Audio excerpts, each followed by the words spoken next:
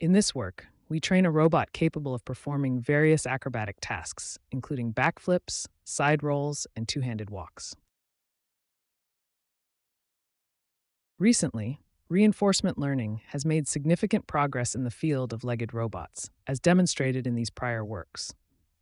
Achieving such agile movements requires carefully designing a reward function that consists of several terms.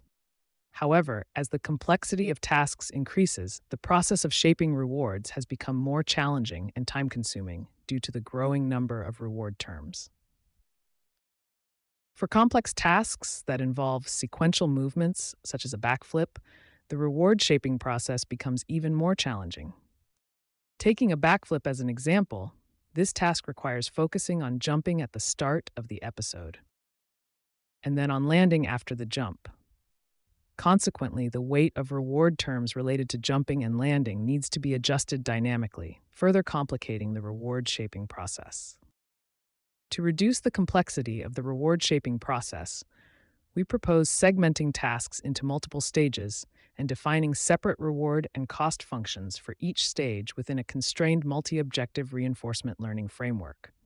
By defining rewards for each stage, we avoid the need to change reward weights dynamically also, defining multiple rewards instead of a single reward can simplify the tuning of the weights. First, let's look at an example of task segmentation. Practitioners can divide a backflip task into five stages based on user defined rules. The robot starts in the standing stage, and when a jump command is given, it transitions to the sitting stage.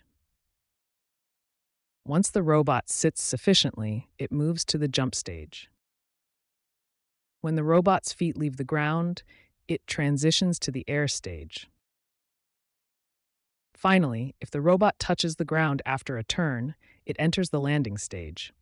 As shown in this example, stages and their transition rules can be set, and accordingly, the reward functions are defined for each stage. Next, we utilize a constrained multi objective reinforcement learning framework. In traditional reinforcement learning, the environment provides the agent with a single reward made up of several terms. However, in constrained multi objective reinforcement learning, the agent receives multiple rewards and costs, with cost functions often corresponding to safety related terms from the original single reward.